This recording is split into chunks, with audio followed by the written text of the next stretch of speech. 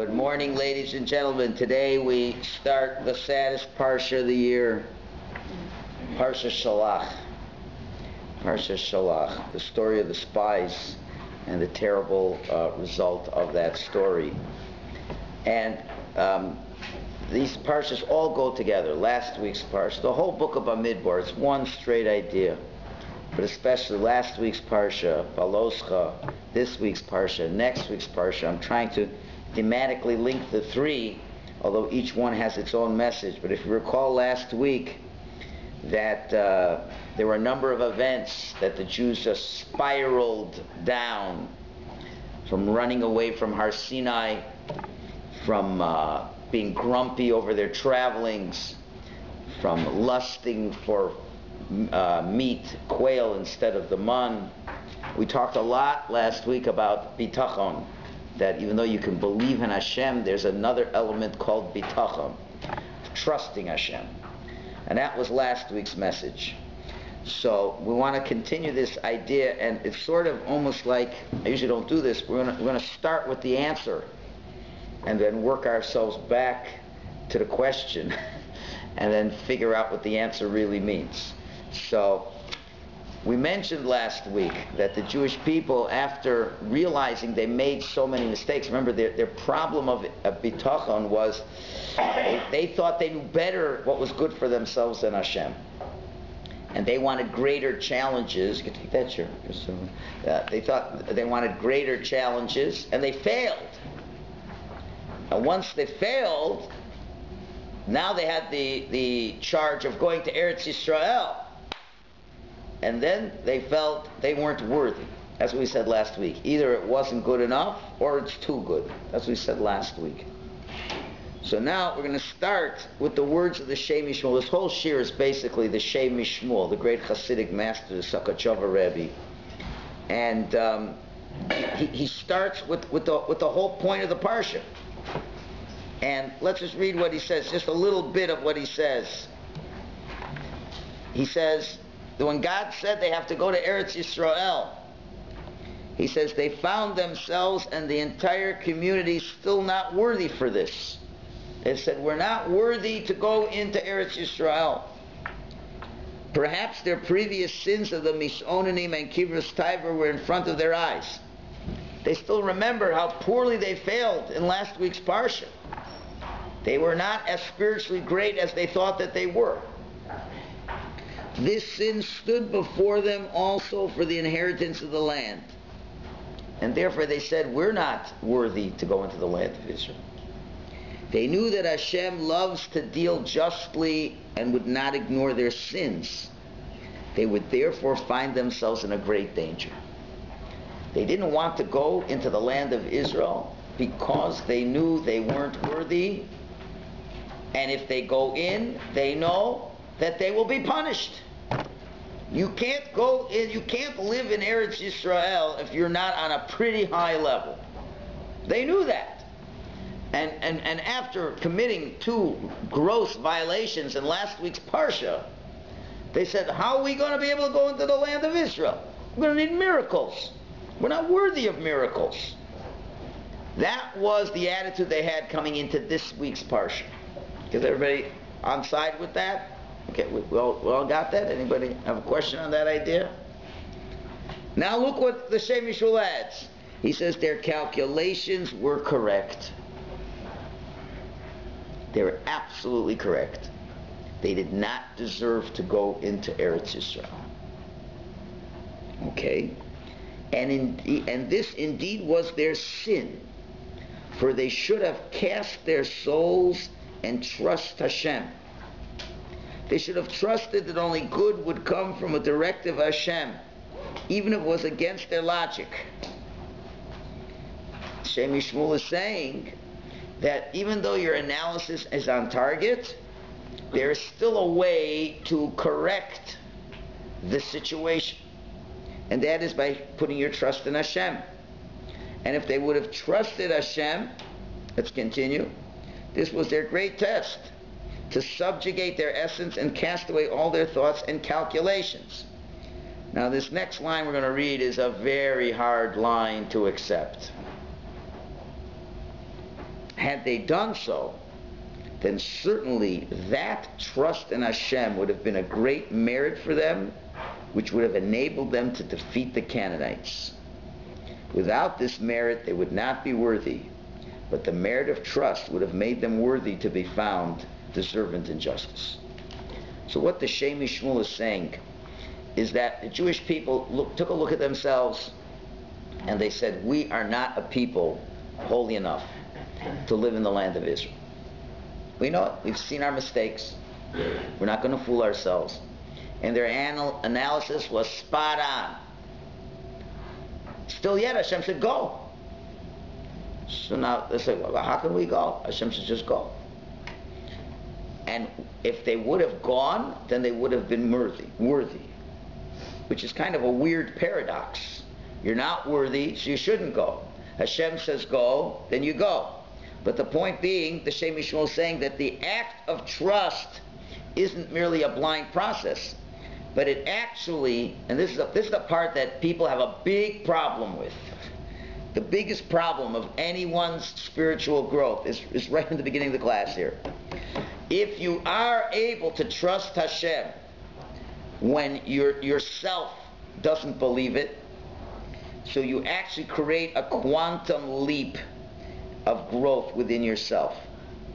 And by taking that, making that quantum leap, that makes the person able now to deal spiritually with that challenging situation that up to this point this person was not able to deal with. This does not work in a clinical lab.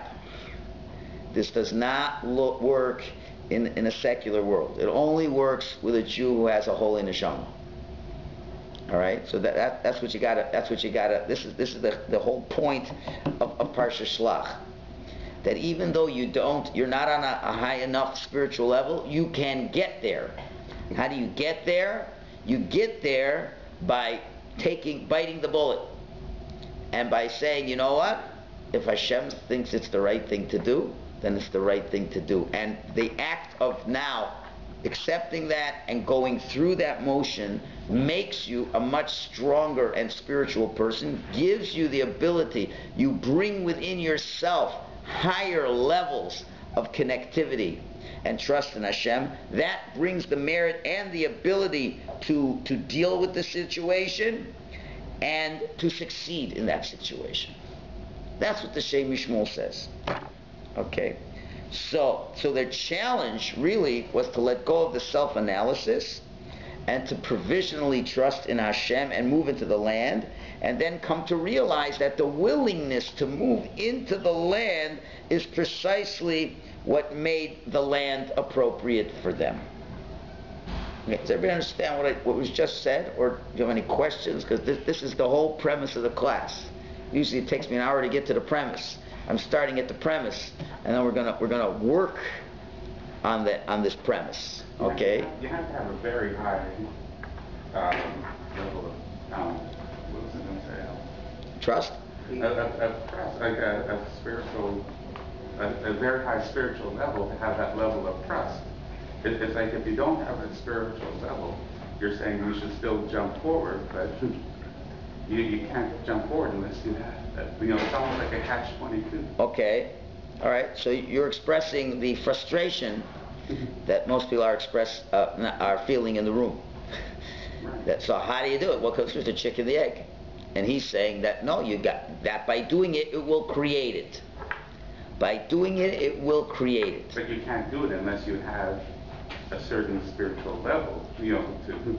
Okay. Maybe in the desert when they witness Okay, so the, so the question then becomes, how does anybody ever move to the next spiritual level which they don't have?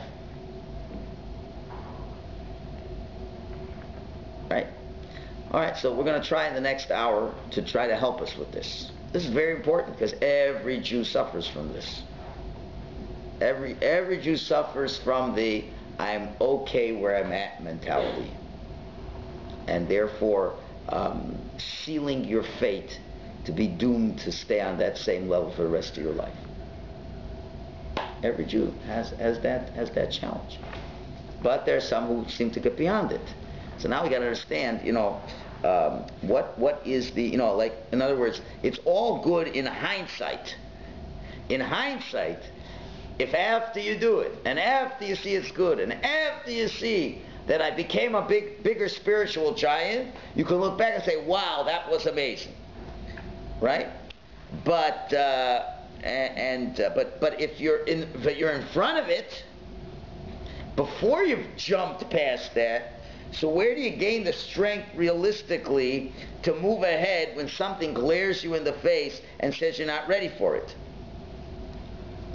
from where will this trust come from okay is this just going to be a blind trust well usually people aren't too good jews aren't very good with blind faith they really aren't good with it they're too smart uh, for that. It's okay for other religions, but Jews are too clever to have blind faith. You know, or maybe there's a kind of a formula going on over here that we can relate to that would help us to avoid this kind of a mistake. And you see people make this mistake all the time, all the time. You know, and it's so it's so painful for for for, for a rabbi to watch. It's painful to watch when he knows. It's painful for a parent to watch when, when, when he knows, we try and encourage a child to take that next step. They don't want to take that next step, and they always want to stay in their comfort zone. So if we can perhaps understand a little bit of a framework, then maybe it'll become a little bit easier. Okay, so that, that's the job for today. It's not going to be an easy class. If you thought this was going to be an easy class, forget it. This one, you're going to have to, going to, have to cook a little bit. Okay, so the Shem MiShmuel first takes us on a path. And he quotes a midrash a midrash in the beginning of the book of Bamidbar. When the Jewish people are counted, the expression that's used, it's a long midrash here on the second source. I don't have time to go through it all. But uh, if you look at the underlines, that those are the critical points. And in the beginning of the book of Bamidbar, it, it says Hashem commands Moshe to Se'u, raise the heads of the Jewish people to count them. The counting process of the Jews was called an expression of raising up their heads. While the tribe of Levi was not counted with the Jews, and the expression of lifting up their heads was not used. And for the tribe of Levi, a different expression was used, the expression of pakod, which means number. Number them. The tribe of Levi lift up their heads, count their heads as it were, although we didn't count heads, we counted the half shekel coin, but there's a, a, wording that's used as lift their heads, while the Levites were counted separately, which was number them. So obviously there's a message over here, uh, you know, uh, and, and the Medrash says, I'll tell you why. Because the word se'u has a double meaning. Lifting as we see when the two um, officers of Paro had dreams and Joseph interpreted them, so one of them, Rashi said, uh, Yosef says, and King Paro will lift your head up and will raise you back to your old position of glory. And the other one, he said, and Paro will lift your head off your body when he hangs you. So lifting has a double meaning. Lifting can be a lift that you're going to grow spiritually, Lifting can also mean you're going to be you're going to fall apart. And that could be a really terrible lift. Okay, so now so now somehow the Medrash is saying he want, Hashem wants the Jews to get that message. So what exactly is the message? What does that mean? The Medrash is very cryptic. So this is a message. In other, words, the Jews are being put on notice as we're starting the book of Bamidbar. You know, your head is going to get a lift. What kind of lift? We don't know. The Levites don't need that message. So it's very confusing. What does that mean exactly? We have to discuss. So now we're going to move into a very, very interesting issue. Uh, is it getting warm in the room or everybody comfortable? We can, we can put the air conditioning on higher. Does anybody want it higher? I'm getting mixed reviews. All right, let me know another 10 minutes. Let me know another 10 minutes. See, the problem is it's set for the shul, which doesn't have anybody in the room. This room's got about 25 people, so this room is going to get warmer. When anybody's really warm, let me know, and I'll just run out, and in one second we'll make it cool. Okay, so now a very important uh, discussion of spirituality is what is the crit- critical medium of divine service? The uh, is it what you feel about Judaism or what you do about Judaism? And it seems to be a fundamental machlokas between the Chovos HaLevavos in the Sefer that Rabbeinu Bachya wrote uh, circa the year 1000, and versus what the Zohar writes, which is much earlier. The Chovos HaLevavos addresses a very simple question. Why are the rewards? We know the ultimate reward for a Jew is the world to come, right? Why isn't it mentioned in the Torah? Why is not Olam Haba mentioned in the Torah? You look through the five books, there's no mention of going to heaven after you die. It's not there. And that's a very fundamental principle of Jewish belief. So what's going on over here? So uh, there's many answers to that question. And one answer he gives is very simple. He says, in a very simple way, he says, there's two types of work you do for Hashem. There's the work, the service of Hashem that you do with your body, that's obvious. And then there's what he calls, and that's the whole book he writes, is the chovos halvavos, the duties of the heart. It's what you're feeling about your feeling of your of your beliefs in Hashem, the belief in the unity of Hashem, your feelings of love to Hashem, your feelings of reverence to Hashem. That nobody can see. That's totally in your heart. It's in your head. And those are two different services to God. You know, do you really feel a love for Hashem? Do you really feel a connection to Hashem? We, there's a lot of us sitting in the room. The people who feel this connection and the ones who don't, they look the same to me. That's all inside. Nobody sees it. On the other hand, then there's what we do. We can see who's giving tzedakah, who's not giving tzedakah, who's keeping Shabbos, not keeping Shabbos, who's talking lashon, who's not talking lashon. Those things that we can see. So he says a very simple rule. He says, in the world, in simple terms, for the obvious, there are obvious rewards in the world of the obvious. And for the things that are less obvious, there are less obvious rewards in the world that is less obvious. Which means that for the things you do in this world, you get rewarded in this world. And that's what it says in Parshas Bechukosai. If you do the things I want you to do, then I will bless you. And the, and the, and the rewards are discussed in physical ways. If you give tzedakah and go to shul and do the mitzvahs that I want you to do, you'll see physical blessings. But if you really have this deep inside connection to God, there's no rate of exchange in this world for that. And you need a special place to enjoy the benefits of that, and that's in a place that's not so obvious either. Okay, that's the fundamental answer. So, like, where, where's all my rewards? So, therefore, the Torah, the Torah was written in a way that for the what we perceive based on our physical perceptions. You want to know beyond that? Go study the Zohar. Go study the mystical Torah. And but if you want to know what's out there, okay, I want to live in this world and I want to have a happy, good life in this world. So that's your obvious way of understanding life. Well, God says, well, do the obvious mitzvahs and you'll be fine. But do them. And if you do them, then Hashem will reward you. But for the much uh, deeper, deeper rewards, you know, this much a feeling of connectivity to Hashem, feeling closer to the source of the infinite reality of existence. That takes a much deeper work, and that's something that people don't see. So basically, what the Chovos HaLevavos is saying is that where are things happening most within the Jew? Where is the most important battles to be played and fought? And where do you really determine what a Jew is all about? It's what's really in his heart and mind. That's the essence of his spirituality. Okay? So, but, but, and don't make a mistake. Oh, very good. The rabbi said the main thing is what's in my heart. I'm a Jew in my heart.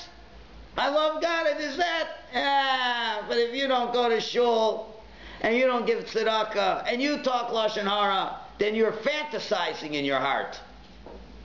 The actions are necessary only as a proof as to what's really going on in your heart. Nobody could say, I'm a good Jew and I love God and not do what God tells them to do. I'm sorry. It's as silly as saying, I'm a wonderful spouse, I'm the best spouse in the world, and I never listen to what my spouse asks me to do. Now, would you accept that? Would you expect, accept that? I'm a wonderful husband, I don't make any money to support my family. Whenever I come in, I ignore my wife. I, I ignore the birthdays. I ignore any special events. I don't put her up on a pedestal. Um, I rather would go bowling with the guys than be with my wife. But in my heart, I love her so much.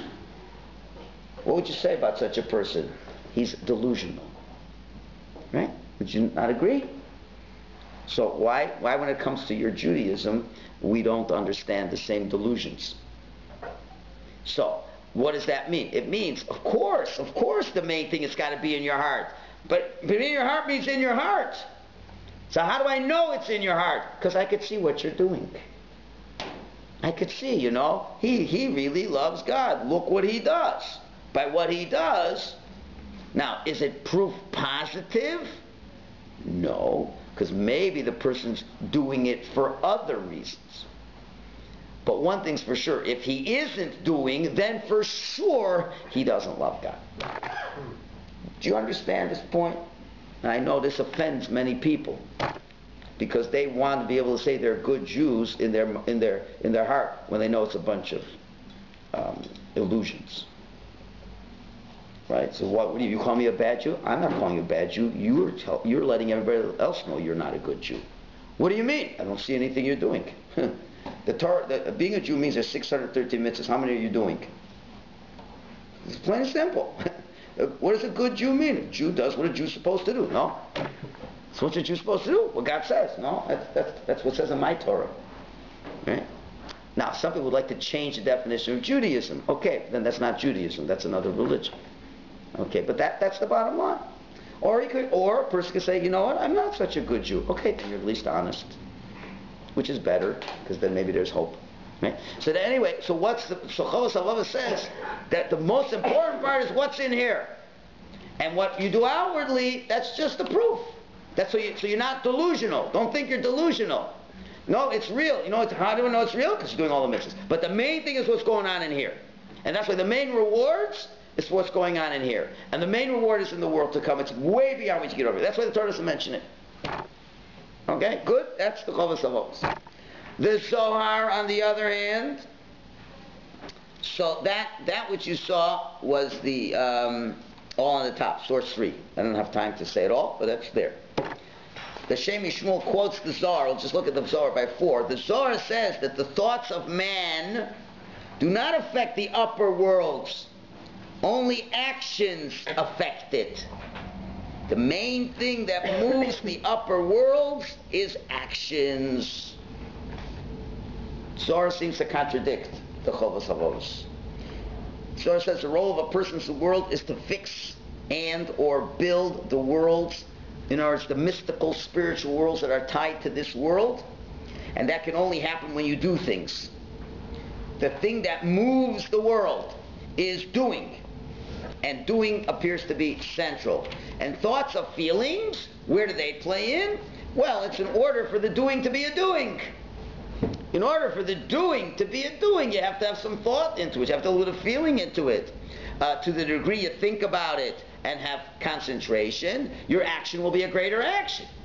If you if you shake a lulav like a robot, well, it does something. But if you shake a robot, uh, shake a lulav like a person who understands why he's shaking the lulav, it accomplishes more. It makes the action a stronger action.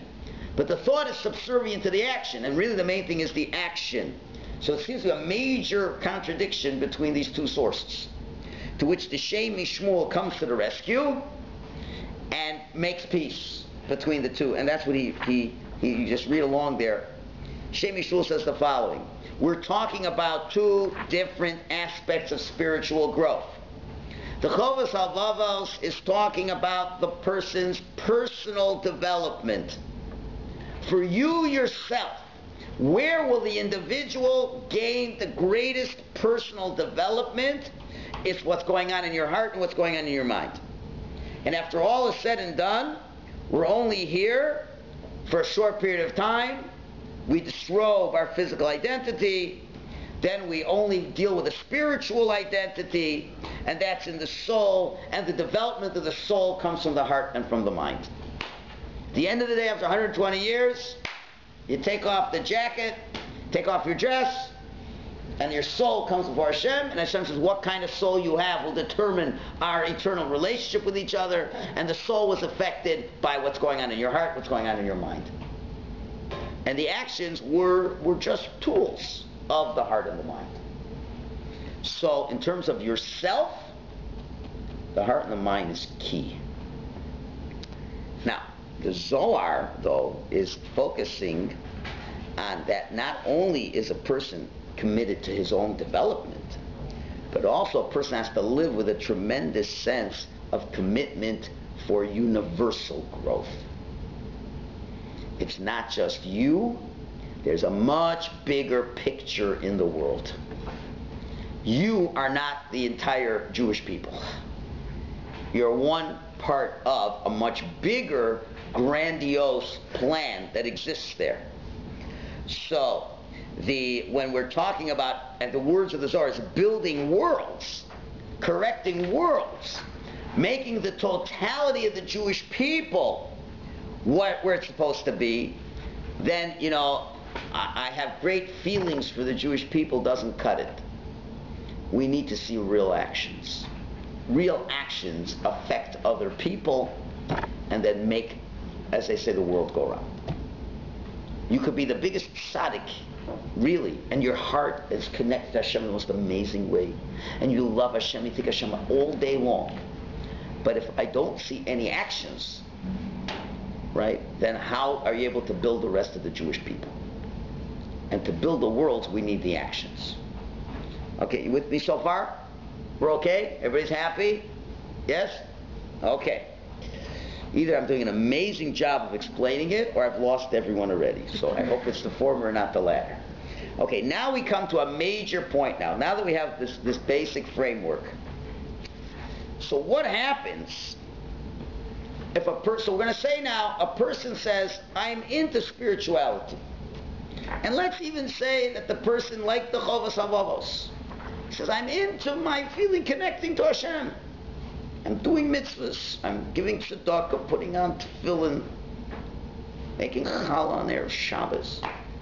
I'm doing it because I want to inside feel this connection to Hashem. So now the question is, there's a very subtle question here, but a major, major point. So why are you into this spirituality? Why are you into this spirituality? Why are you into this Judaism? Why are you doing these mitzvahs? Why are you working to develop a relationship with Hashem? And that's sometimes people don't ask that question. It's a very scary question to ask. We're, we're going we're going into uh, you know like Star Trek, going boldly to where no other man has gone before. We're going to get to a very uh, uh, don't please excuse me if, if this becomes a little painful. We're going into painful areas. We're going into areas that are very personal. Because now we're looking, okay, so, so let's, let's assume that, you know, anybody who's here to learn Torah on a Tuesday morning is, uh, has, a, has a certain degree of spirituality over it. There's a lot of other things one could do on a Tuesday morning, on a hot Tuesday morning. You can go to the beach. You can do a lot of much funner things, right? So you're in, so, so the question is, so like, so like, why, why are you in the class today? And then why are you going to go and buy kosher food at Sobeys today? And why are you going to start preparing for Shabbos? And why are you going to, uh, uh, you know, what, uh, give give charity and all these? Why are you into all this self-development? So that's a very tricky question, and the answer only comes when you get conflict between your own self-development and the development of the rest of the Jewish people when it comes into conflict. Let us say a, a certain situation comes your way and you feel, and, it's a, and it's, it will help other people, but you don't feel that it will necessarily be good for your own spiritual self-development. Is it the thing you do or is it the thing you don't do? So let me give you an example from last week's Parsha to make it clear. Last week's Parsha in Baloscha and it's also very all connected. All, all the message comes in. It says that God told Moshe to tell Aaron to light the menorah every day. So the Torah says that Aaron did as he was told. By Yas Aaron came. Aaron did so. So Rashi over there says, oh, the Torah is saying the praises of Aaron to teach us that he didn't Melamed Shloshina. He didn't change what God said.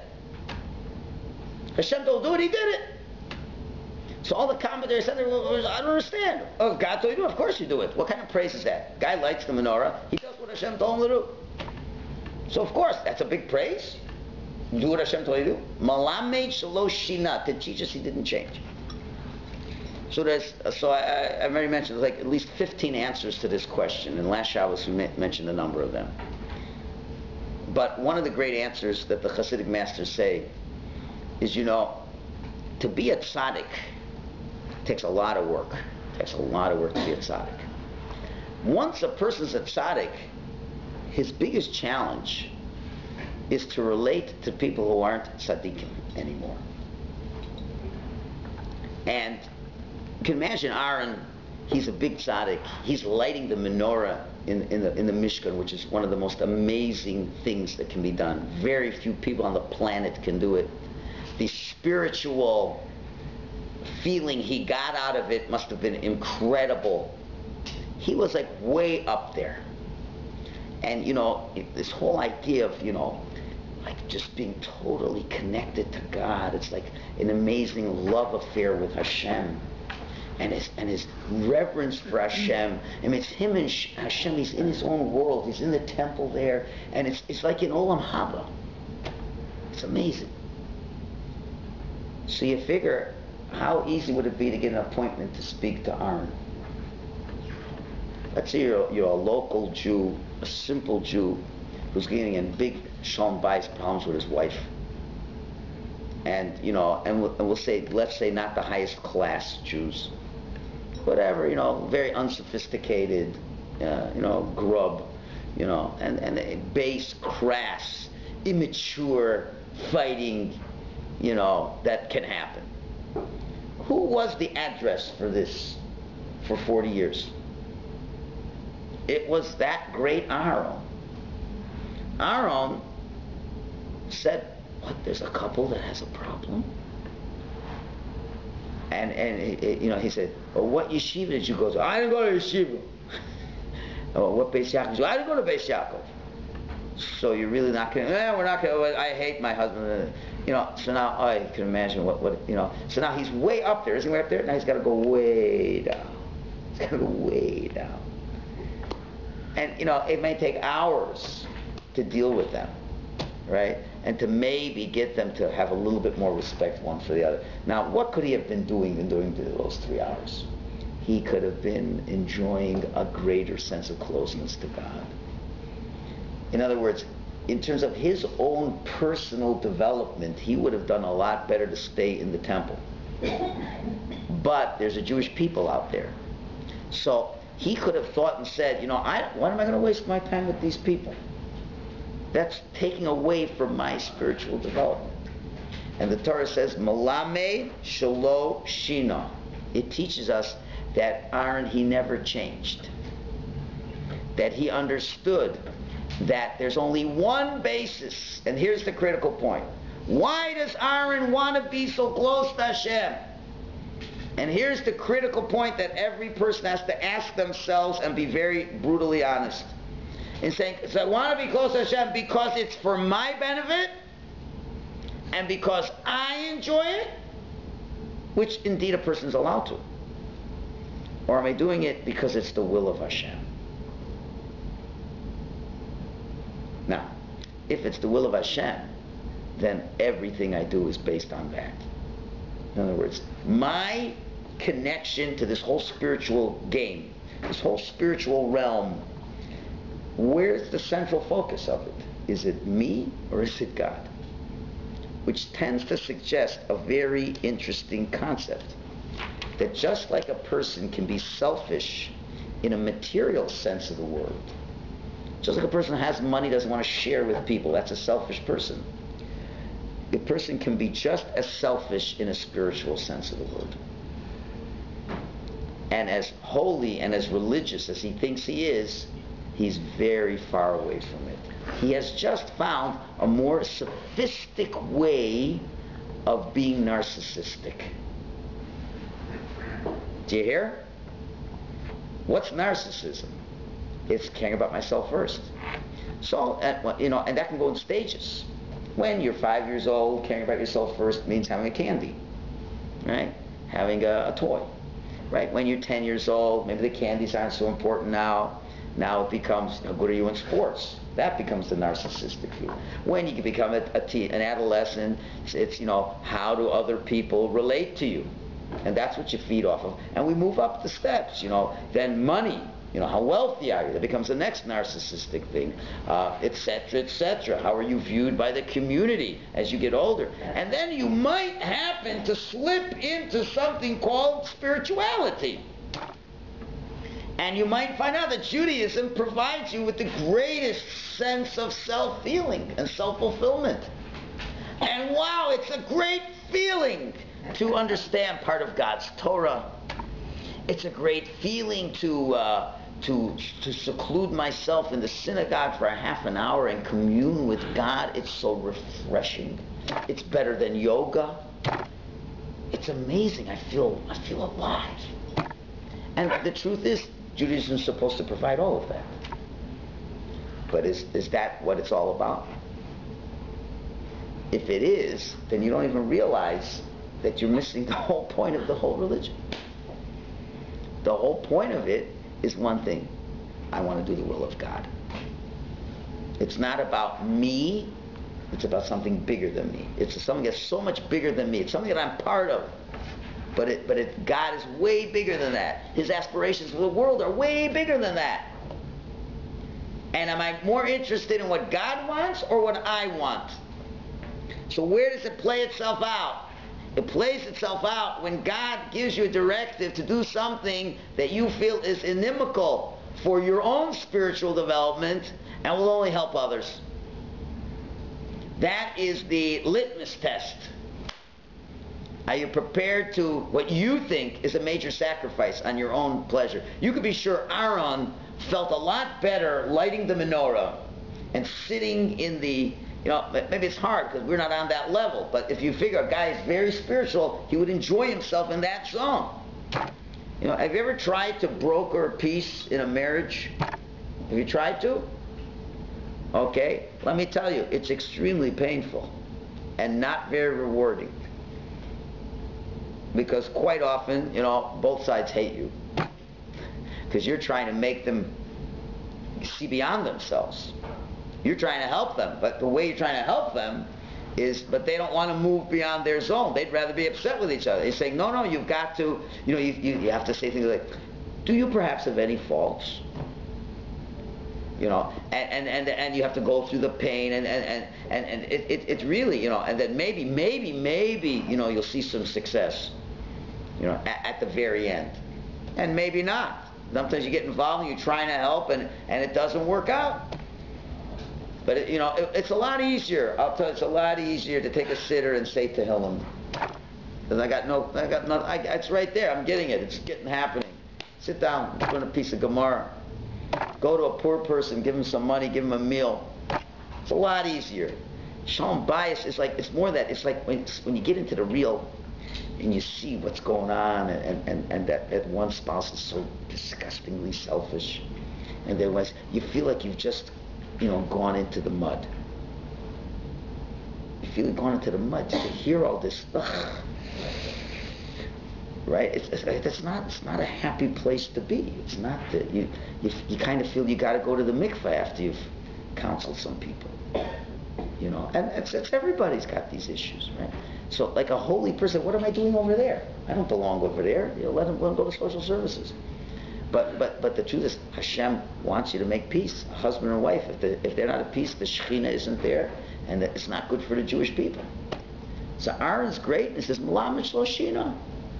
For him, it wasn't any different. You know, you could have, you know, you could see the great people in the world, the great, great Gedom, the big, big rabbis, the big rabbis in Eretz Yisrael You could see they're writing responsa, landmark responsa uh, about life and death issues. That's like highfalutin stuff. And then someone knocks on the door with a three-year-old little child and says, Rabbi, can you come and cut his hair? Can you come and give my child a blessing? And like, he would say, what are you talking about? I, I'm a busy and important man. But, but all of a sudden they put it down, and all of a sudden they put on a different face, and they're talking to this three-year-old like a three-year-old, and like, like a Zadie of this kid. And he, he pats him on the head and pinches his cheek and, and gives him a hug.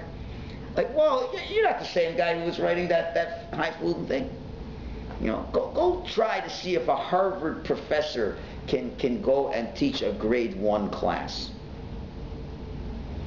Okay? That, that's what the great people, the great rabbis were able to, to, to, be, to deal with the most lofty ideas and they can walk out and deal with the most base things. That, that's that's Malam and Shloshina. That shows he, he wasn't different, didn't change. Right?